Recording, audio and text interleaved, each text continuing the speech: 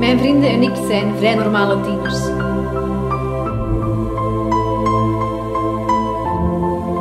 We vinden het leuk om een feestje te bouwen.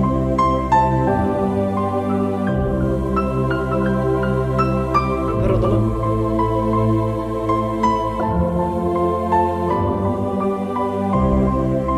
Worden verliefd.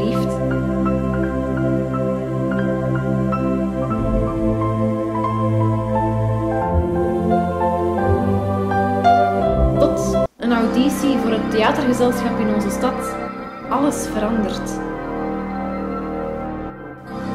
Een vreemd dagboek lijkt alles over mij te weten. Demonen uit mijn verleden achtervolgen mij. Spanningen stapelen zich op. Wat als angst het leven ooit?